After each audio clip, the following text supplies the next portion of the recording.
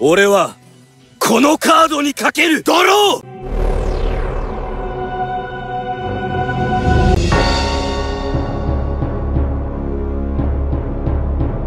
Olá pessoal, AJ aqui, sejam bem-vindos a um novo vídeo de Yu-Gi-Oh! Duel Links aqui no canal. Hoje estamos aqui para fazer o nosso reviewzinho, assim, o nosso recapzinho um, do reportzinho da, da QC, report número 22 desta QC de setembro de 2020. Não, acho que não vou ver uh, da primeira fase, vou, vamos focar-nos essencialmente na segunda fase. Uh, eu não fui a pessoa que mais joguei nesta QC, lá está. Não sou a pessoa que mais tempo tem para, para, para duelar na QC. Fiz pouco mais de 100 duelos, 24 mil, o que não foi propriamente mal, considerando o quanto eu, eu brinco. Uh, mas eu mostro-vos já aí os resultados. Neste vídeo, quero focar aí nas cartas mais utilizadas aqui. Temos os 30 monstros mais usados, tanto do main deck como do extra deck, e também as magias e armadilhas mais usadas porque isto é uma boa um, noção a ter até para a banlist que provavelmente vem aí nos próximos tempos. Hoje é dia 26 quando eu estou a fazer este vídeo e quando uh, vocês um, vão ver o vídeo no canal, mas vamos um, ter assim se calhar uma ideia do que vem aí na banlist, por isso já vão já deixando aí o gosto, inscrevam-se aí no canal, partilhem aí o vídeo com os vossos amigos, comunidades de Yu-Gi-Oh! Duel Links e tudo mais, e não se esqueçam, todas as sextas-feiras temos aí torneio no canal, ontem houve torneio, ontem sexta-feira, hoje estou a gravar isto, que é sábado, mas vamos começar aqui e logo nos monstros, primeiro Uh, ter em conta, eu vou, vou mostrar assim rapidão o deck do, do top 1 um, mais para o fim do vídeo, o Zalug.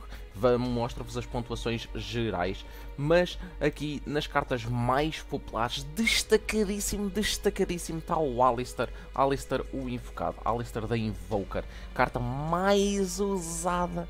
Há muitos decks a utilizar Alistair, é Invoked com Elemental Saber, é Invoked com Neos, é aquele Neos com o Dark Cavalry, também tem, também consegue usar o Alistair, há muita, há muita coisa, uh, honestamente, e é de facto, lá está, a popularidade em Vote Neos era o tier, um dos decks mais fortes indo aqui para a segunda fase da QC, normal, o segundo é o Neos, e lá está a carta de protagonista, uh, carta, a segunda mais carta, a segunda carta mais usada, um, lá está, e o terceiro é o Keeper. Isto faz tudo parte do core do mesmo deck, que é Invoke the Neos. Demasiado forte. E acho que é desta vez uh, Konami tem mesmo que fazer alguma coisa. Não sei se uh, limita o Keeper. Será? Uh, limitar o Keeper um, é que, limitando o Keeper imaginem a 2 a Neil's Fusion já está a 2 é um hit muito grande para um deck que veio de, de estrutural uh, não sei aí, Alistair Alistair possivelmente passa passa a 3, não sei. Carta de protagonista nunca vai ser limitada, acho eu. Não estou a ver Dark Magician, Blue Eyes, Red Eyes serem limitados. Neos também não. Mas entre o Alistair e o Keeper, o Keeper é uma SR, não sei. Uh, talvez. Temos aqui em quarto lugar o Kuribo Esfera, o Sefir Kuribo. Ok, também interessante. Sefir Kuribo estava a ser utilizado em alguns decks como o Shiranui. Uh, mas não me recordo de, de outros decks em que eu tenha apanhado Sefir Kuribo, lembro-me dos Kite mas Sefir Kuribo ainda uma carta bastante popular. Um, lá está, tem, tem um packzinho especial para garantir, uh, garantir ele, mesmo novos jogadores queiram. Sefir Kuribo é uma boa carta. E depois temos aqui nas nos monstros mais usados, temos o quinto, sexto, sétimo, oitavo nono. Temos os Black Wings aqui todos seguidos. Blackwing deu bom lá no topo? Não, não, não, não sei exatamente. Eu sei os, os decks do top 2, uh, assim por, por alto, especialmente o número 1, que foi Shiranui. Uh, mas ó, gosto de ver Blackwing aqui com popularidade. Eu não estou. Lá está, eu não vejo Blackwing a ser nefado. Blackwing não é. Uh, opa, é muito risco e chance. Temos aqui o, o Gale em quinto, é o Blackwing mais popular, mesmo do vindo do TCG. Simon aqui para os combos, as duas URs não devem ser tocadas. O Orochi está aqui em sétimo lugar, o Orochi já está limitado a 2, juntamente com o Raikiri, por isso não sei. Um, não, não, não, não sei, não, não poderá ser tocado. Temos aqui o Chris, o Chris e o Bora, e depois o Sephiroth. Ok, temos os Black Wings, os monstros Black Wings que são usados todinhos seguidos, mano. Todinhos seguidos, é incrível. Ok. Um, uma da, das coisas que eu, que eu via a Konami a fazer seria limitar aqui o Chris. Um, Uh, mas assim também obrigavam-nos a usar 3 bora. Eu só tenho aqui 2. Obrigavam-nos a usar 3 bora. Mas o Chris também tem aquele efeito de não ser afetado por, por armadilhas e magias. Ou não, ser, não poder ser destruído uma vez por turno por magias e armadilhas. O que é bom. Um, de resto, ah, não, eu não quero que Blackwing seja nerfado. Não quero mesmo. Kite Royd, como eu tinha dito, uh, uma das cartas que vemos mais. Estou surpreendido do, do Kuribo estar ali uh, mais que, um, que, que o Kite Royd, mais alto. Mas também faz sentido, se vir Kuribo, ainda há decks de Luna Light a rodar. Vi, aí algo, vi decks de DDD com, com Kuribo. Um, interessante aí. Depois em 12 só em 12 vem Dark Magician e o Rod. Ou seja, quando, quando vêm as cartas, vêm seguidinhas. Temos tipo ali as cartas de Alistair, tudo seguidinho. As cartas de Blackwing, tudo seguidinho. Um, houve só ali o Kurib e o Kite Royd a separar os arquétipos. Depois temos aqui Dark Magician e o Magician Rod. Continua a ser um deck popular Dark Magician. De facto, continua. Não parece que vá ser tocado novamente. Não é o deck que melhor funciona ou que melhor dê aí no, no formato QC e mesmo no, nos torneios, mas dá, dá para ir vendo. Dark Magician continua a ser um, um deck uh, de bom de, de, utilizar, mesmo para novos jogadores. Depois temos aqui Shiranui. O Shiranui Spectral Zord é o nível 2, é o mais utilizado porque é o que tem o melhor uso. Só aquele Synchro do, do cemitério, aquele Special Summon do cemitério, é muito, muito top de usar. Volcanic Shell. Volcanic Shell que já muita gente apontou como a carta a ser limitada no, no Invoke de Neos. Não sei, ele aparece aqui bem mais abaixo que o Alistair, que o Neos, ou mesmo o Keeper. Um, é uma carta rara de outro arquétipo, foi adaptada àquele deck e é uma carta muito forte que consegue gerar muito recurso. Uh, Volcanic Shell, mais a habilidade virada surpresa. Hum, uh, como é uma carta rara, toda a gente aposta que vai ser limitada e não sei o que, mas vamos ver. Uh, depois temos então mais dois Shiranus. Temos aqui o Solitaire e a Squire. Solitaire normalmente usa-se 2 a 3. E já vamos ver aí. A Squire já está limitada a 2, que é um do, uma das principais ferramentas de, de, de. O principal buscador que é invocado atrás logo o Tuner nível 2, que está aqui em 14, o Spectral Zord. Um, é, lá está, mas continua, continua a ser um deck top de usar, continua a ser um deck muito, muito bom. Depois vem o Magician of Dark Illusion. Ok, já lá está, Dark Magician perdeu mais importância, o Magician of Dark Illusion perdeu um pouco mais de, de importância. Há quem, há decks Dark Magician que nem, nem usam essa carta aí. Temos aqui o Raiden. Raiden ganhou, ou Lightsworn ganharam muita importância para o mecanismo de Witchcrafter. O Witchcrafter consegue ser um deck nojento, é aquele deck de 30 cartas, muito como Crystal está ali, gera recursos, gera recursos. Cristão tinha tudo no cemitério, fazia sincro no turno do oponente. Uh, Witchcrafter, magias ali na mão, protege, nega efeitos, é muito, muito, muito god. E Raiden, lá está, encontrou esse principal loot. Uh, Raiden, como a Layla, como a Lumina até. Por isso é bom ver Lightswords. Lightswords é um dos meus arquétipos favoritos. Uh, depois temos aqui então Spirit Master. Spirit Master Carta rara. Também já vi gente um, a sugerir a li limitação desta carta. Uh, vamos ver aí na versão que venceu aí a QC. Por acaso, uma versão com 30 cartas que utiliza 3 destes, mas uh, para combar lá com uma armadilha, uma armadilha contínua que é a cerimónia de selamento do fogo. Um, lá está encontraram um combo bastante, bastante forte com aquela armadilha até utilizando este aqui, por isso eu não sei, vejo, vejo as razões para poder ser apontado o banimento desta carta, mas só, só vendo aí no futuro.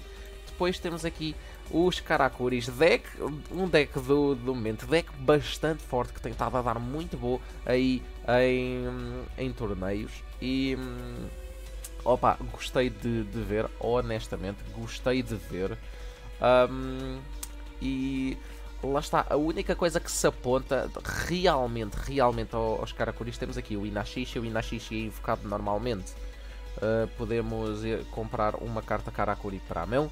Se invocarmos primeiro o Aninishi, normalmente ganhamos um segundo Normal Summon, ou seja, podemos procurar o Inashishi. Uh, agora, se com o Aninishi até fizermos Synchro Summon com o outro monstro, podemos ir buscar outra Aninishi e ganhamos outro Normal Summon. Quando invocamos o Burei, ganhamos ali um, um Karakuri do deck. Podemos trazer outra Ninishi, podemos ganhar outro Normal Summon. Então o Inashishi torna-se uh, o principal buscador do deck. Uh, e se alguma carta tivesse que ser um, limitada neste arquétipo, eu não sei se não é demasiado cedo, mas uh, uma das principais ferramentas de um, Karakuri é o acesso à Tornade. A Tornade é uma carta de facto muito, muito forte e o Karakuri sente que consegue controlar, sente que consegue dar o TK. É preciso ter atenção a isso. Kunamzan é demasiado recente, saiu aí na, na última mini box. Um, eu acho que a Ninishi também é. Uh, lá está, ganhamos este segundo normal summon, é tuner, mas tirando isso não faz muito. E na Shishi faz mais. Uh, por isso eu não tenho completamente a certeza se Karakuri vai perder já o acesso ao torneio ou se, se, Karakuri não for imediatamente tocado é o Tier 1, por qualquer deck que tenha o potencial de compra que tem uh, como Karakuri e o acesso à torneio é demasiado god. Um, por isso, eu também quero ouvir as vossas opiniões. Vamos ver aqui. Temos então Lumina. Lumina é o mesmo que, que o Raiden. Uh, mas eu não estou a ver Lightsworn, Lightsworns a serem tocados é completamente estúpido. Lightsworn em si, uh, o deck não é por aí além, não é, não é top tier sequer. Uh, aí no, no Duel Links é um dos meus decks favoritos do TCG, é um deck que eu ainda tenho. Um, e depois temos aqui Lava Golem. Lava Golem encontra lugar, lá está, em poucos decks para, para o formato da, da QC para um formato mais rápido, uh, lá está, os decks lá em cima, seja Black Wings, Shiranui, uh, Dark Magician, Blue Eyes, uh, Karakuri, não, Lava Golem não é uma carta utilizada nesses decks, era uma carta utilizada ali no Luna Light, assim meio estranho, no Yozenjo, no Ritual Beast, e esses decks foram perdendo importância, é essa a verdade, mas ainda assim está aqui como, como uma das cartas mais usadas. Temos de ter em conta que Kuribo está lá para cima, Kite Royd está lá para cima, então ainda há decks de stall, já não são assim tão predominantes.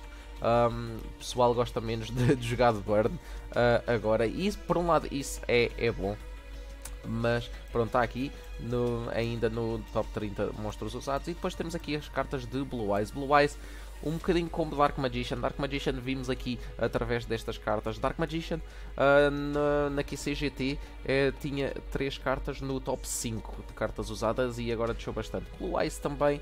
Blue Eyes tem ainda alguma importância, ainda está aqui no top 30. Tá, vemos aqui tudo seguidinho: Blue Eyes, a Pedra, Deep, uh, uh, o Dragon Spirit of White. e mesmo temos aqui o Sage. Um, vai vai perder assim um bocadinho de importância, mas eu acho que também será um deck que poderá beneficiar aí do, do XYZ e agora dos Excel que virá.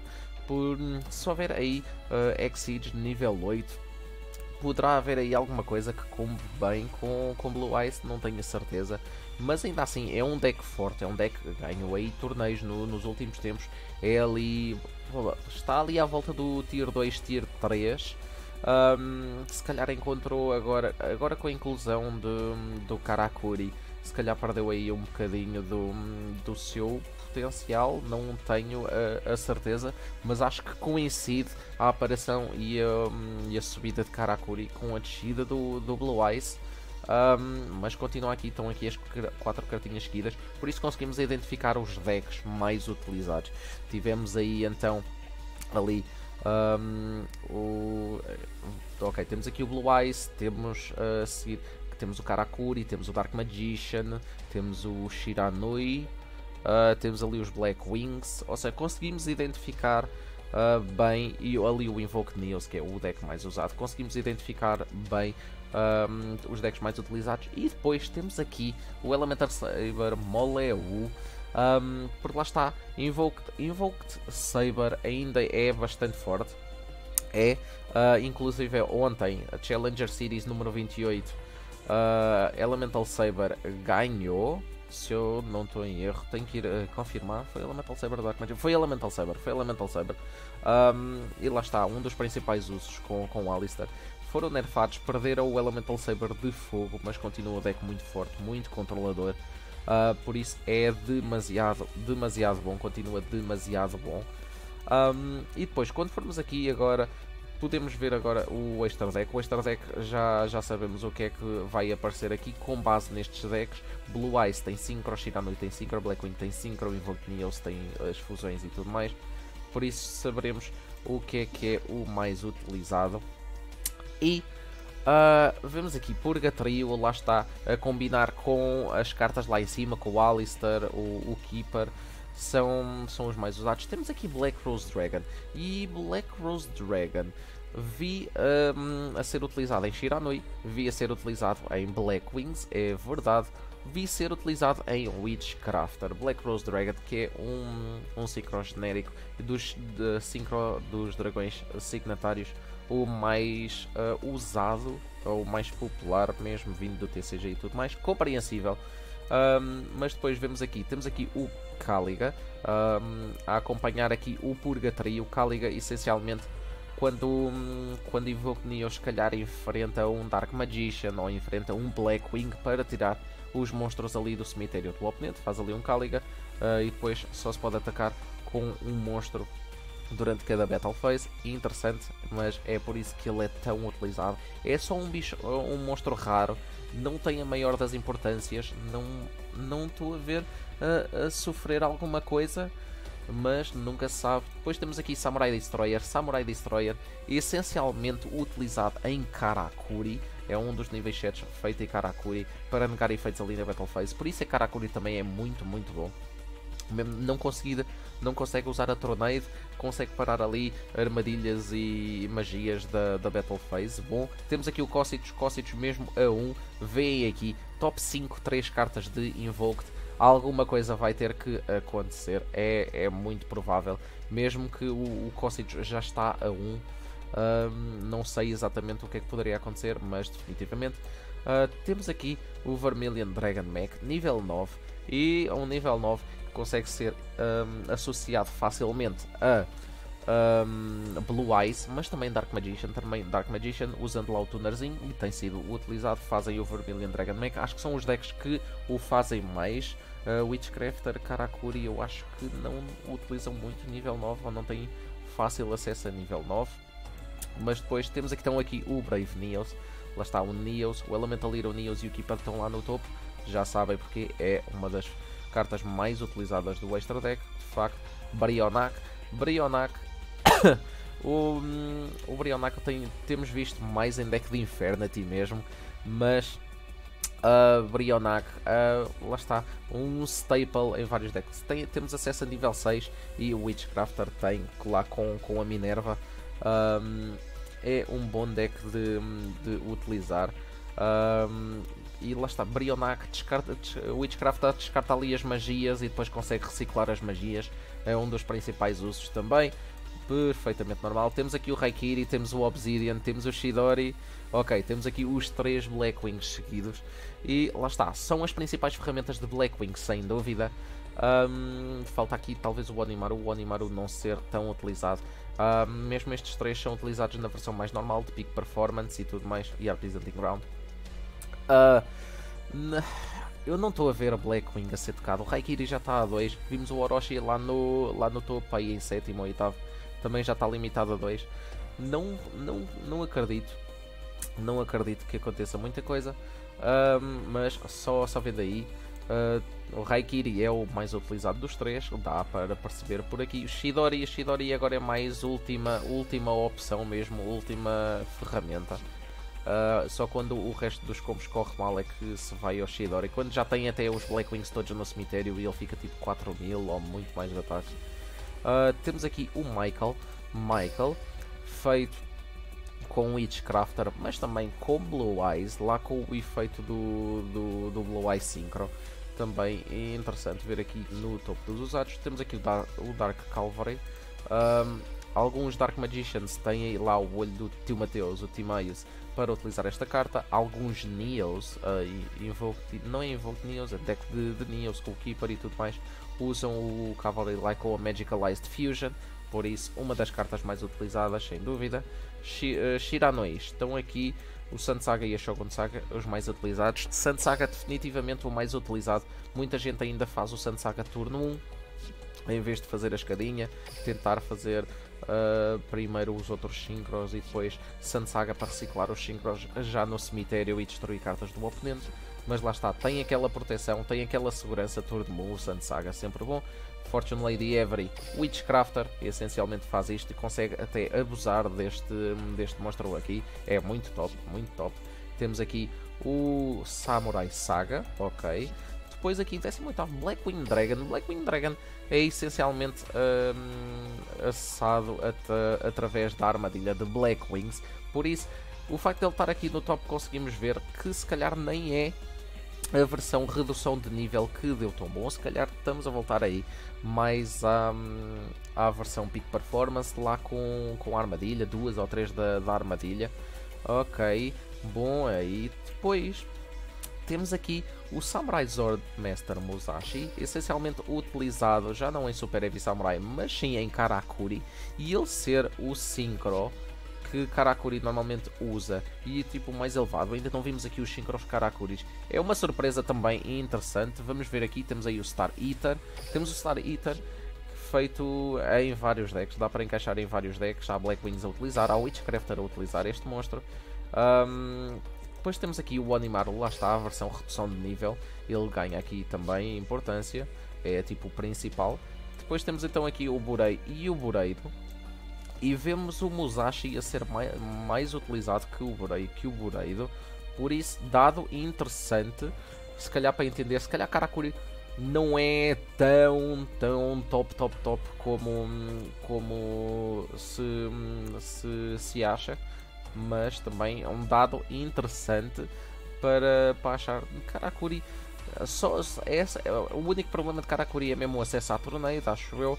Depois temos aqui o Azure Eyes, e o Azure Eyes mais acessado que o outro Spirit Dragon. Também ter isso um, em atenção, talvez isto para reciclar mais o facto de ele não poder ser destruído então e ter esta, esta defesa um, e recicla, essencialmente reciclar os Blue Eyes talvez seja o, a razão para ser mais utilizado. Temos aqui o Ashfin Zombie Skull, uh, principal sincro uh, feito do cemitério lá com o efeito do, do Shirano Spectral Zord.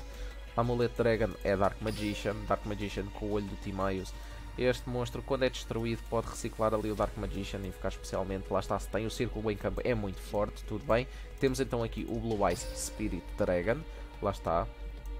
Uma das ferramentas para fazer a ponte, lá está, para o Synchro de Light Sworn ou para, para o outro Synchro. Um, dragão uh, Luz, ok. Temos aqui Shirano Squire Saga. Aparece aqui tem sido utilizado o tuner nível 3 um, aí no, no Shiranui. Shiranui versões com mais de 20 cartas e ela ganhou aqui um, uma nova vidazinha, consegue ganhar ali um pouco. Magellânica, lá está, desde o nerf foi um dos Invoked que se perdeu mais no caminho. Um, e lá está, com o Monstro Terra, ele surgiu, surgiu essencialmente por causa de Karakuri. Karakuri, como estamos a enfrentar um, um deck com monstros essencialmente terra, ganhou ali um pouco de, de vida, mas lá está, Purgatrio continua a ser muito, muito mais forte.